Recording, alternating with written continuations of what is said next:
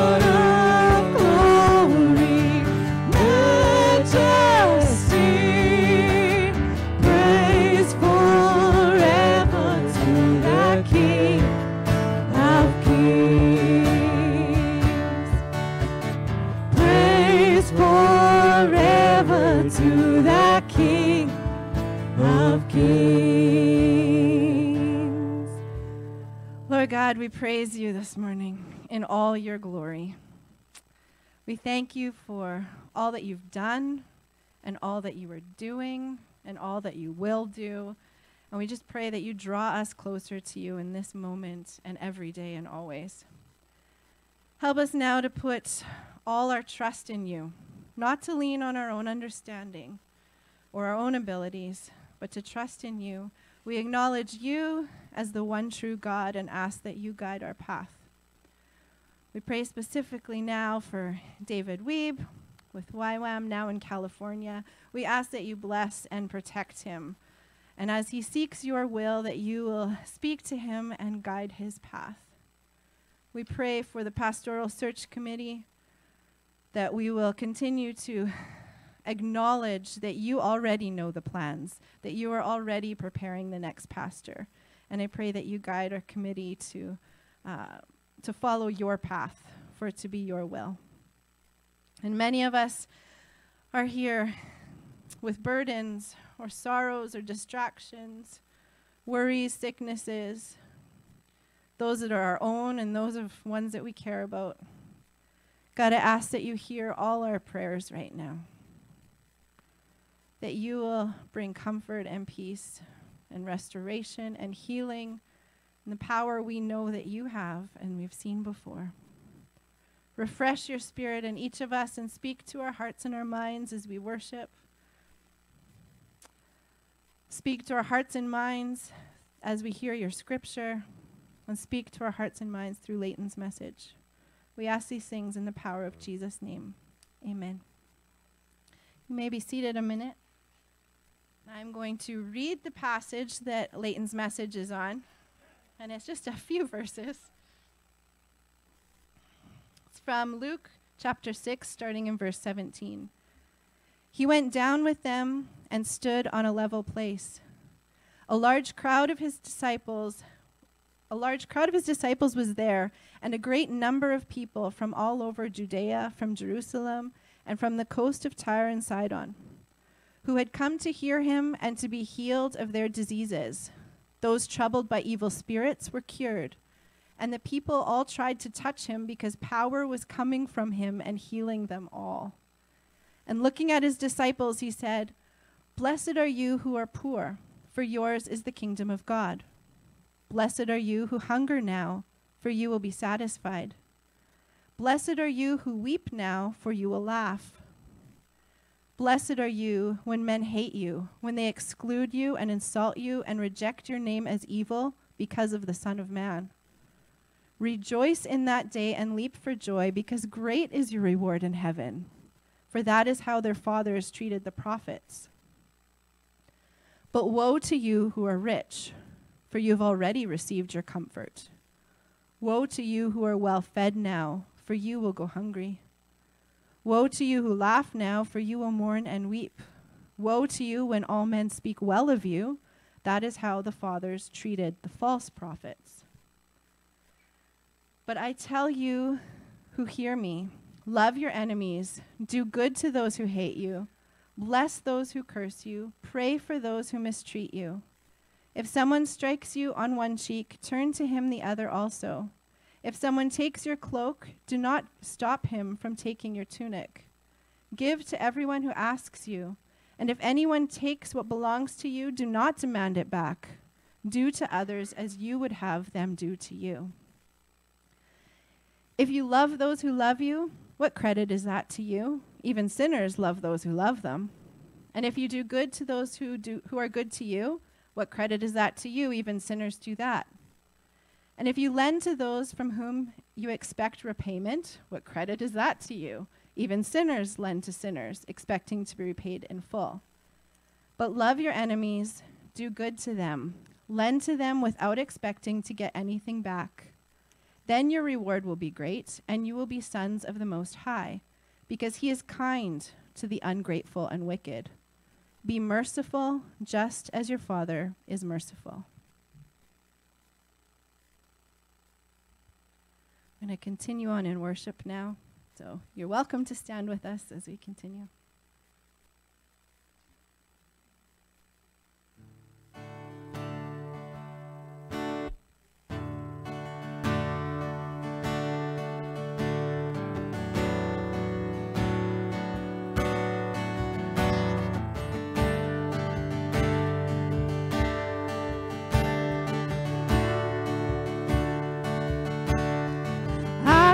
The world,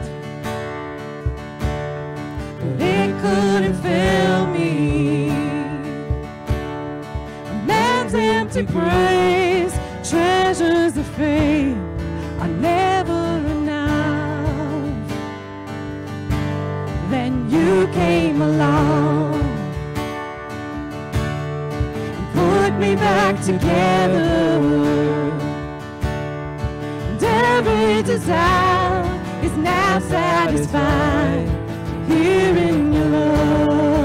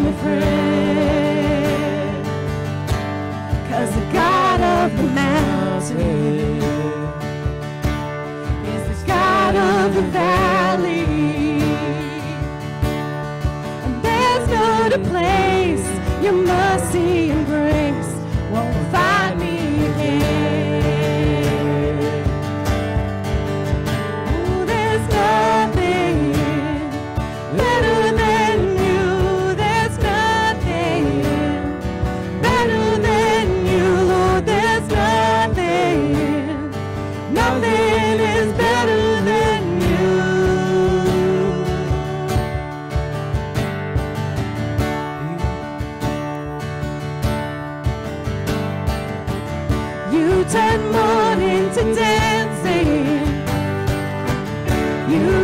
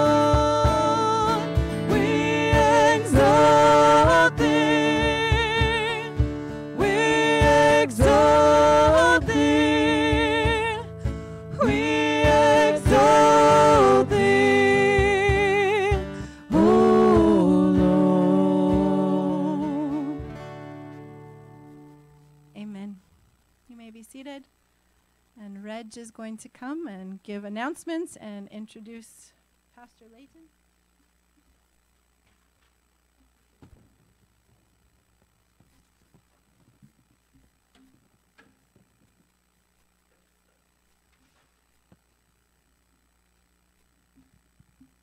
Good morning and welcome to Oak Bluff Bible Church. I hope you've been enjoying the morning so far.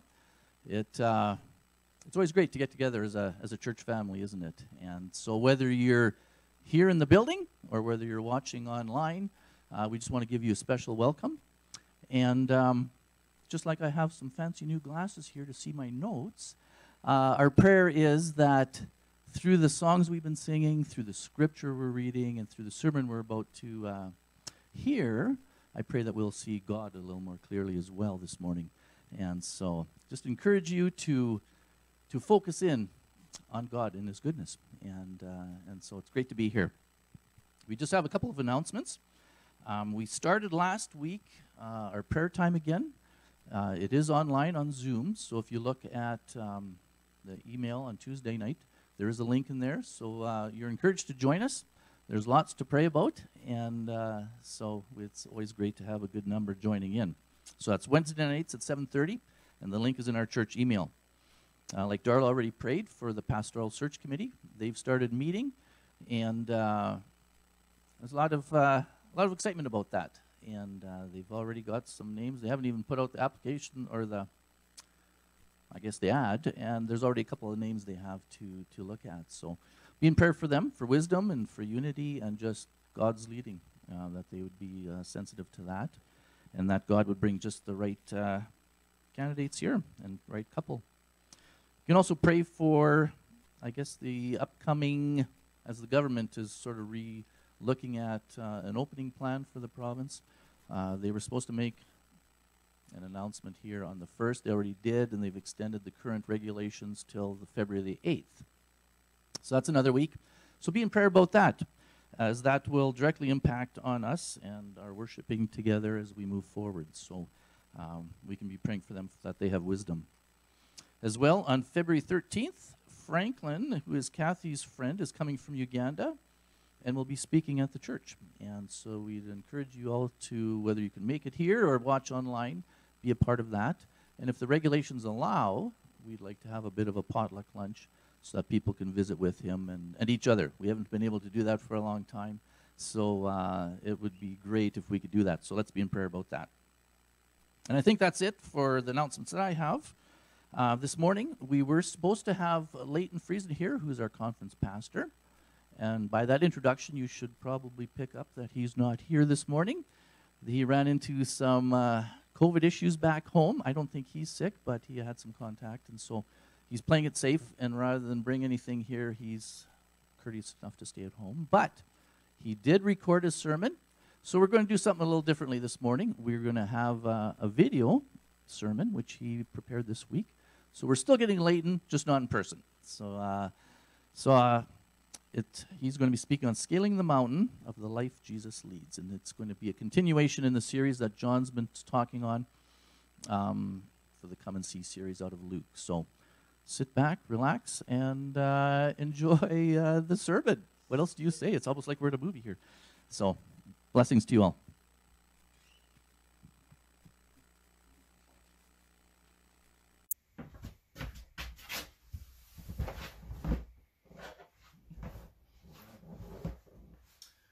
Hello, everyone. It's good to be with you in this way. And I am uh, honored and privileged to be able to share the good news with you today. This morning, I want to take your thoughts to Luke chapter 6, beginning with verse 17. And I'd encourage you to find that passage in your Bibles and uh, read it along with me. As you know, the churches of the EMC are walking through these stories of Jesus seeking spiritual renewal. Wouldn't it be amazing if we could really think like Jesus? If we genuinely had Jesus's perspective, if we had his attitude about things, if we had his power, the power of his personality, the power of his, his actions, his commitment. But often it seems to us that Jesus is somebody that we will never ever be like.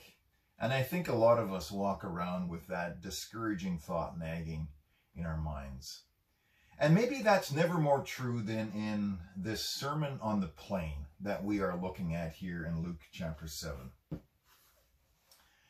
In this sermon, Jesus says things that we we struggle with. He's saying, he says things that we find very hard to understand. In this Sermon on the Plain, we get a glimpse of how Jesus actually expected his disciples to live in ways that seem almost unreal and impossible to us. When we read through this, I think we should all feel like we're standing beside a vast mountain. There's the soaring peak of Christ's spirituality, of his morality, of his obedience, of his ethics. And we are standing on the plain looking up at this soaring mountain. And the mountain kind of reaches beyond our sight and is veiled by the clouds. This is daunting. And it can almost make you dizzy looking up at this high mountain and imagining that you could live like this. Well, let's go through this. Let's go through this sermon on the plain. Uh, Jesus begins with four blessings in verse 20. He says, Blessed are you who are poor, for yours is the kingdom of God. Blessed are you who are hungry now, for you will be filled. Blessed are you who weep now, for you will laugh. Blessed are you when people hate you, and when they exclude you, revile you, and defame you on account of the Son of Man. Rejoice in that day and leap for joy, for surely your reward is great in heaven, for that is what they did. That is what their ancestors did to the prophets. Now, when Jesus says, blessed are the poor, blessed are the hungry, and so forth, I think what he's saying is, you're the lucky ones. You folks that are hungry, this is your happy day. Those of you who are weeping, you just won the lottery. Are you one of those people that other people hate and exclude and defame? Jesus said you should be so happy about that situation that you are dancing in the streets and leaping for joy. And let's be clear, Jesus in this passage here in Luke 6 is not just talking about those who are kind of spiritually poor or spiritually hungry. No, I think he really means the people that you and I, everyone else, would think of as poor. We might say the people who are poor in every way.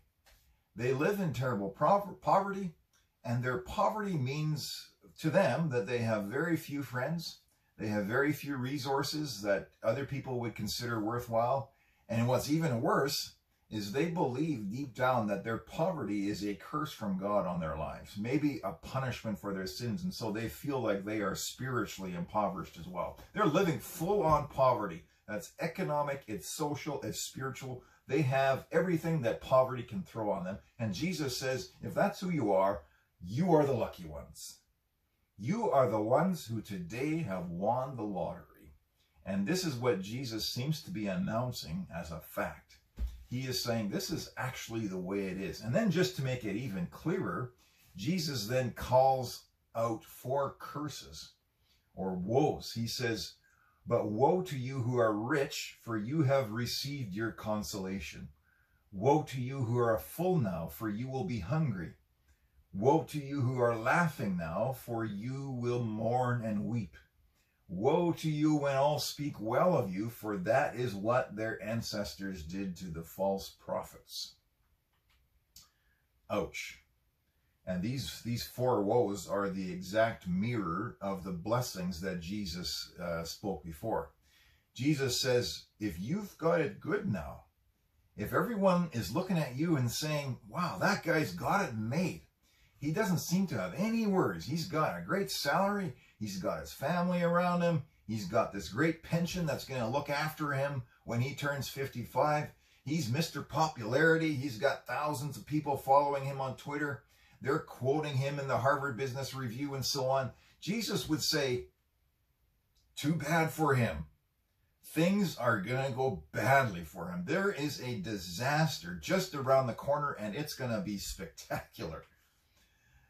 So what is going on here anyways? What kind of a perspective on the world does Jesus have here?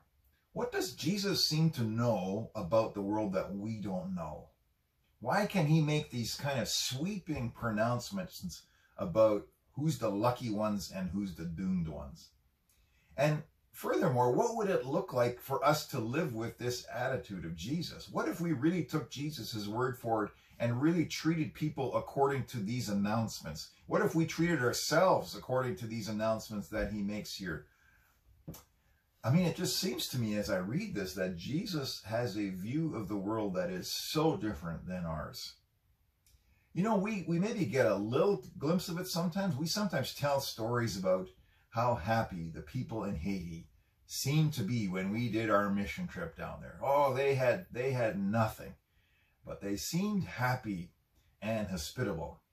But I wonder, is that really what Jesus is talking about here? Or, or maybe we say, well, Jesus is saying if, if we become poor spiritually speaking, if we admit that we need Jesus to forgive our sins, then Jesus is going to come into our lives and bless us with eternal life. But I wonder, is that really what Jesus is getting at here, though? Is that simply what he's saying? You know, I think we just need to sort of take Jesus at his very simple word here, even if we can't quite imagine how it could be so. It seems that Jesus has some secret about the world. He knows some deep truth about the world that we can't see, that somehow allows him to say that if you are poor, if you are hungry, if you are weeping, if people hate you, then things are about to get good, and you will be among the fortunate ones. Jesus seems to feel, or Jesus seems to have some kind of information that we don't have. But then Jesus goes on to says uh, to say a few things that are even more strange. He says in verse 27, "But I say to you, love your enemies, do good to those who hate you, bless those who curse you, pray for those who abuse you. If anyone strikes you on the cheek, offer the other also. And from anyone who takes away your coat, do not withhold even your shirt. Give to everyone who begs from you." And if anyone takes away your goods, do not ask for them again. Do to others as you would have them do to you. Now, isn't that just remarkable? I think those of us who have been listening to this passage all our lives, we really need to step back here and just be amazed at, at what Jesus is actually claiming here, what he's actually teaching here. Who even lives like that? Who would even want to? What kind of a world would we have to live in to make this seem feasible and this seem responsible? And then Jesus says, if you love those who love you, oh, what credit is that to you? Whoopee. Even sinners love those who love them, uh, who, who love them. That's not even amazing at all. It's not even difficult. Jesus might say, even, even your dog likes those who like her. Anyone just needs to follow their natural instincts and they can love their friends. But Jesus is saying, what I am doing, the life that I am showing you, the way that I want you to live goes way far beyond anything that anybody could do by natural instincts. Maybe if, if we were saying this today, we might say that the world can accomplish a small amount of goodness maybe through anger management classes or parenting models or counseling or medication or education, the world can accomplish a certain amount of goodness. But the life that Jesus calls us to lead goes vastly far beyond all that. There is no therapy that is sufficient to get you to live the life that Jesus calls you to live. Now, that doesn't mean that therapy is a bad thing. Jesus doesn't say that the natural way of living is bad. He's just saying it's not enough. It will not get you to the exalted, soaring way of living that Jesus is announcing here. In fact, Jesus says the only model for this life that Jesus calls us to live, the only model is God, who is kind to the ungrateful and to the wicked. And then he says, be merciful just as your Father is merciful. So there you have it. In these short verses, we- get a glimpse of someone that we, we, we begin to suspect we're dealing with someone here who sees the world completely differently than we do, differently than what we would ever expect. Jesus sees the world in a, in a unique way. He calls us to do things that nobody else is calling us to do. It's like Jesus is on another plane somewhere, and yet he says, Follow me. Jesus actually expected his disciples to live like this. He never apologizes to them for demanding these visions of them. And I think that when we hear these lofty demands that Jesus makes, we're sometimes intimidated, aren't we? We feel this sense of heaviness about this. We feel, you know, maybe we feel guilty. Uh, maybe maybe we wish that Jesus just hadn't placed such a heavy burden. Jesus, couldn't you just make it easier? Couldn't you uh, couldn't you just imagine something a little bit more manageable, a little bit more doable? Well, I want to suggest a different way to look at this today that might be helpful in how we understand this. Imagine a 12 year old pee wee hockey player. Maybe you don't have to imagine, maybe you are one. This 12 year old hockey player is sitting on the couch watching Connor McDavid, the greatest hockey player in the NHL. And this 12 year old is absolutely mesmerized and excited by the incredible way that Connor McDavid can skate. Now, my question is is that 12 year old sitting there on the couch with a sense of shame and embarrassment that he can't skate like Connor McDavid? I don't think so. That 12 year old is inspired. He's, he's thinking to himself, I'm going to go to the driveway right now and get practicing. Someday I want to be like that. I think that's how we should understand this sermon on the plain. Here's how that might work. Let me just explain that for you. Part of understanding this passage, I think, is to read verses 17 and 18 of chapter 6, just before Jesus starts teaching. Crowds are coming from all over. They had come to hear him and to be healed of their diseases. And those who were uh, and those who were troubled with unclean spirits were cured. And all in the crowd were trying to touch him, for power came out from him and healed all of them. I think that's a, a, hugely important picture to have in your mind as you try to imagine the life that Jesus is describing here. Power came out from Jesus and he healed them. I think that's why the poor are so lucky, because Jesus is healing their diseases. That's why the hungry are filled now, because Jesus is filling them. That's why the more those who mourn are laughing, because Jesus is raising the dead. The people who had died are being raised. That's why those who are being reviled and hated should leap for joy, because they're sharing in the lot of Jesus himself. And just like Jesus is going to be killed, but then rise from the dead, so those who are hated on his account are going to likewise be raised from the dead. The world is upside down now, Jesus is saying, because Jesus is turning it upside down. Jesus is miraculously healing people, and that's why sick people are the lucky ones. Jesus is casting out demons. That's why the oppressed are the fortunate ones. Jesus is vindicating the way of God by his own death and resurrection, and that's why those who are hated are on the winning side. Jesus is turning the world around, and that's why he can talk like this. And I think the same goes for the woes. People who have made it, who think they have made it, by the world's eyes, they're going to be scandalized. Jesus is going to stick his finger in their side, and he will needle them until they lash back at him and kill him. Jesus is going to goad them until they can't stand it anymore, and then they will snuff him out just like they killed the prophets.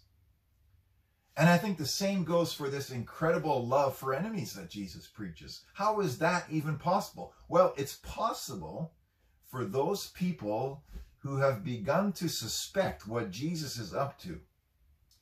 Jesus is building up such an explosion of blessing and abundance and glory and riches and life and and wholeness for those who get it, for those who follow him, that people are being allowed, even encouraged, to be very, very reckless with how they manage their lives. You don't need a big savings account because Jesus is going to give you the kingdom of heaven. You don't need a closet full of clothes because Jesus is going to give you the kingdom of heaven. It's yours.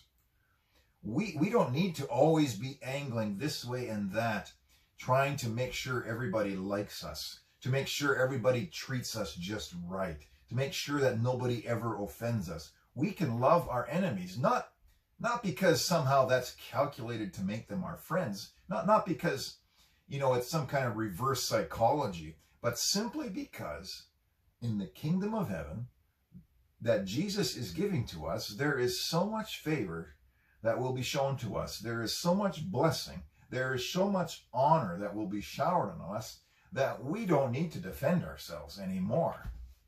We can see the world like this. We can live with our enemies like this. We can give to those who beg because of what Jesus is doing to us and to our situation because power is coming out of Jesus, because demons are fleeing when he comes into the room, because people are being healed by the miraculous power of Jesus, because poor people are being restored to health, because Jesus has exploded onto the scene. All of this makes perfect sense. It's the natural way to live. Yes, but,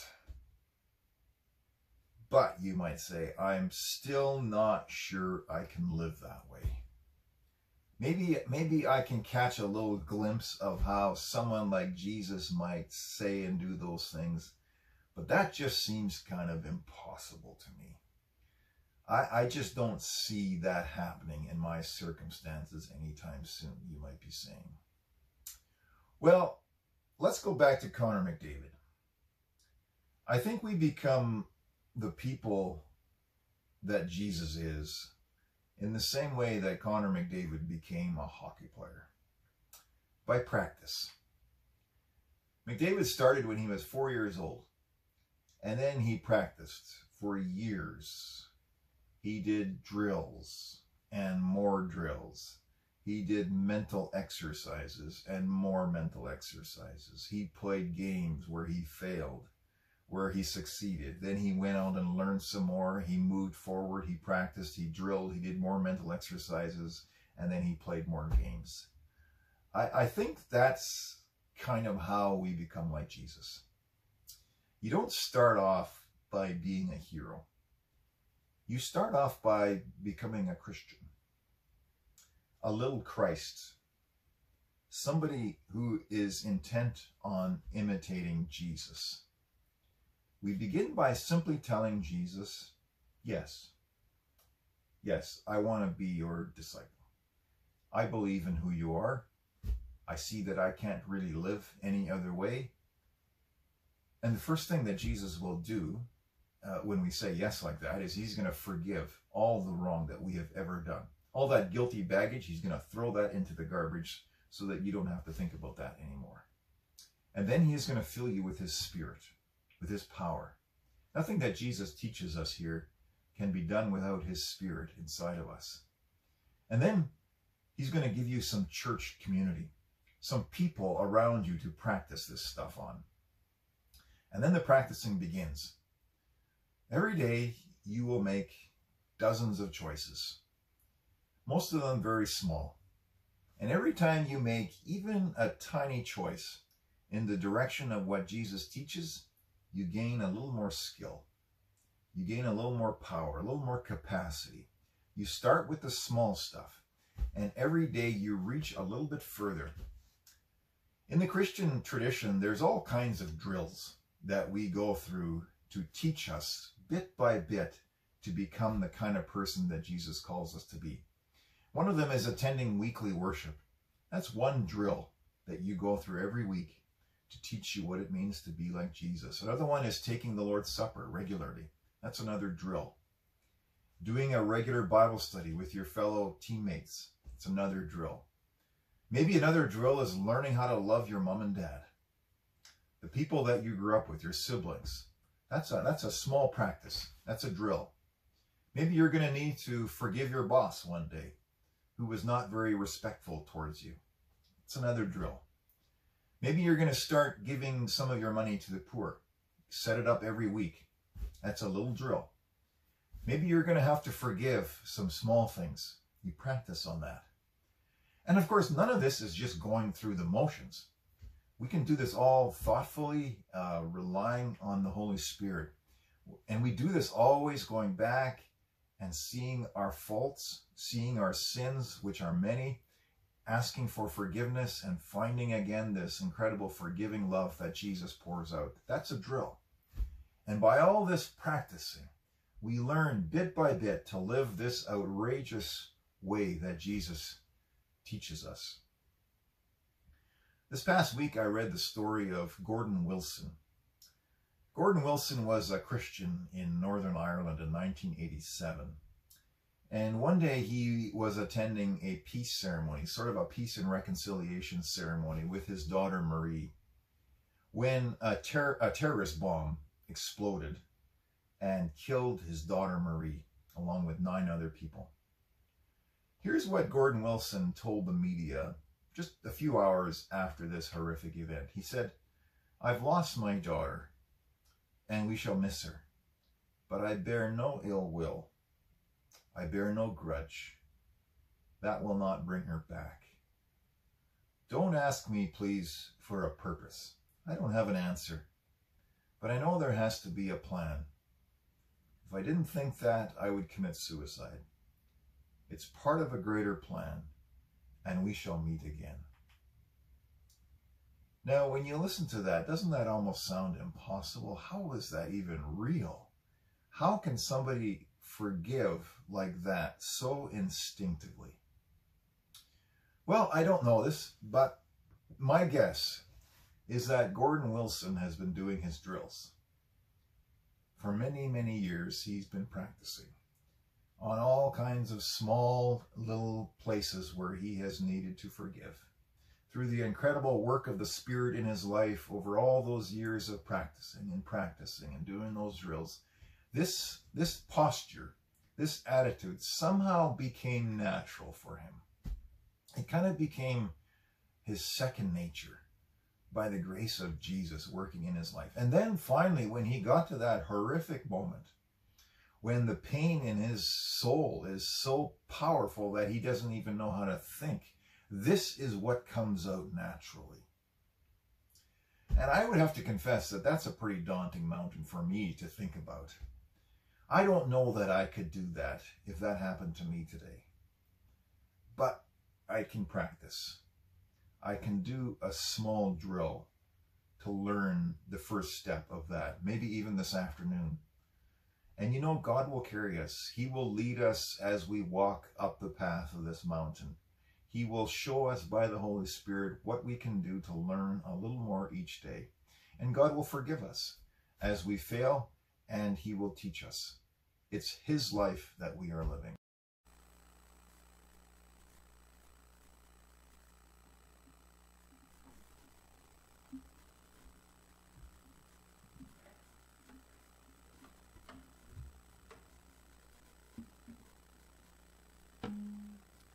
I'm sure you all echo me in saying thank you to Layton, wherever he is this morning. I invite you to stand as we close in response to what we've heard.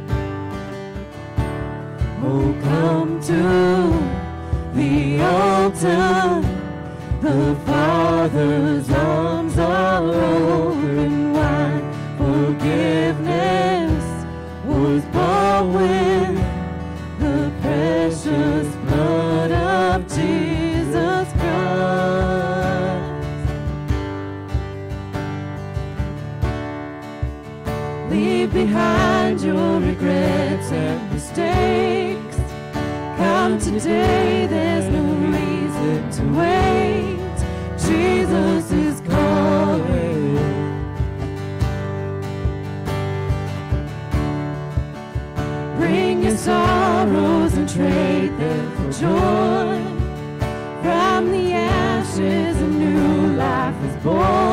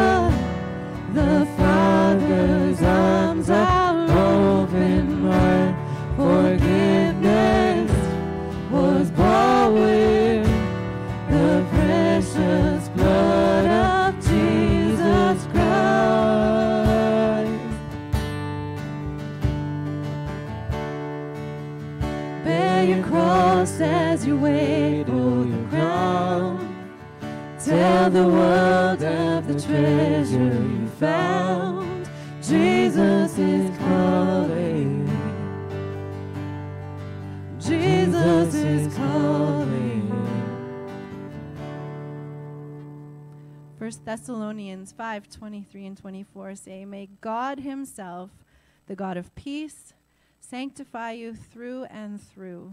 May your whole spirit, soul, and body be kept blameless at the coming of our Lord Jesus Christ. The one who calls you is faithful, and he will do it. Amen.